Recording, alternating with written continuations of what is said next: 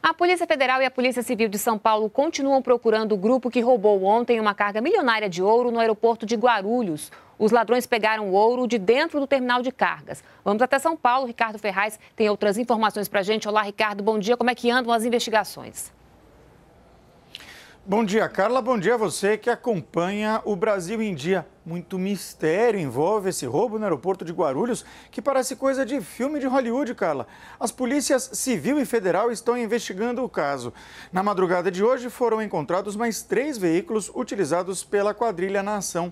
Nove pessoas prestaram depoimentos, entre elas um funcionário do aeroporto que foi sequestrado junto com a família pela quadrilha na noite anterior ao roubo e passou a ser coagido, então, a passar as informações sobre a carga e o local onde são feitos os transportes de valores no aeroporto de Guarulhos. Eles foram liberados depois que os ladrões conseguiram fugir.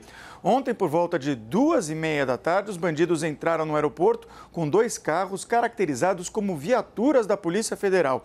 Usavam máscaras e estavam armados com espingardas e escopetas. A ação durou apenas dois minutos e meio.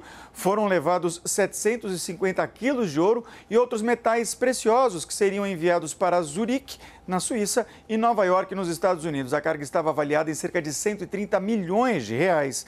Em seguida, os ladrões abandonaram os veículos em uma favela a 20 quilômetros do aeroporto. Esses carros disfarçados de viatura não foram dados como roubados e agora a polícia tenta achar os donos para saber como eles foram envolvidos nesse crime.